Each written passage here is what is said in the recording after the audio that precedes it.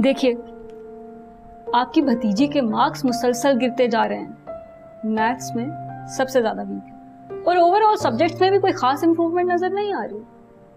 वैसे एक मशवरा दूँ, बच्ची को ट्यूशन पढ़ाएँ कोचिंग में लगवाएँ, इस पर खसूसी तवज्जो दें। अब आप जा सकते हैं।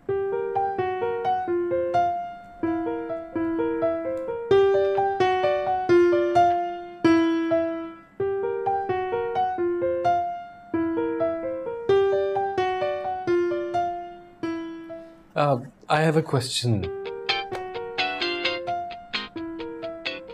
गंदे कपड़े में अपने धोबी के पास लेके जाता हूँ। तो वो मुझ पे बिगड़ेगा कि गंदे कपड़े क्यों लेके आए या धो के वापस करेगा?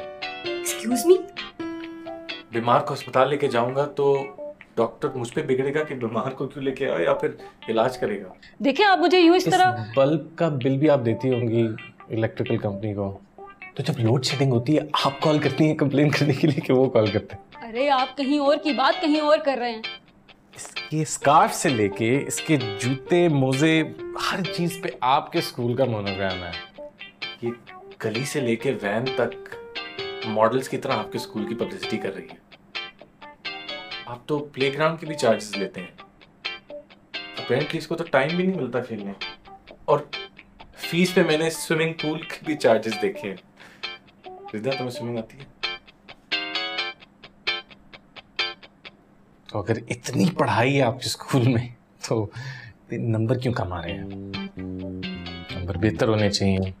अगर हम नहीं पढ़ाना है, हम नहीं कोचिंग करानी है तो मेरा ख्याल है कल से छुट्टी करते हैं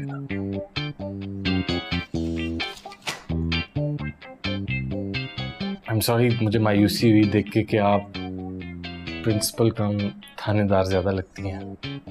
ये बच्चे आपसे सवाल कैसे करते होंगे?